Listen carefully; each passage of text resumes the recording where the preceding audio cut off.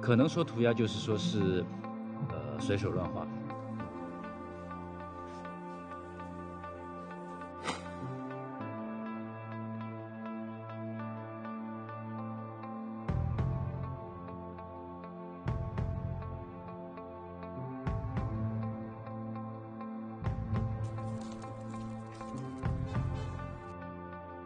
涂鸦只是艺术里边的一个门类，呃，上个世纪七十年代左右，在美国布鲁克林诞生的。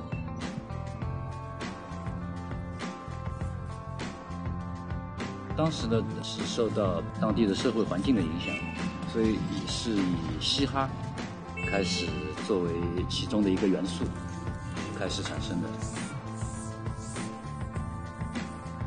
涂鸦作为视觉的一种表达方式。它也是成了一个一个，就是融合了各种各样的风格和元素的一个大家庭。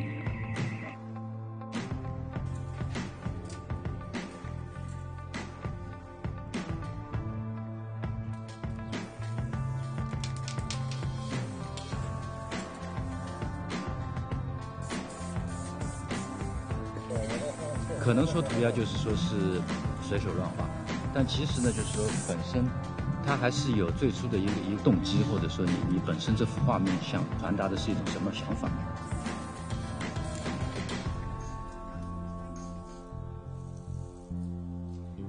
我们是抱着一种探索的思维来决定举办这么一次活动的。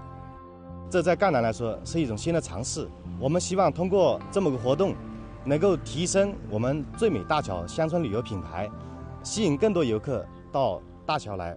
观光旅游。